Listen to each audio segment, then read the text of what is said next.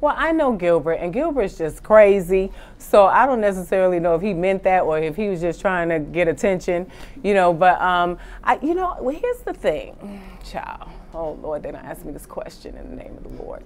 Um, I think that when you're growing up in urban neighborhoods, you see the girl, you know, that you thought was beautiful from around the way, and you couldn't have her.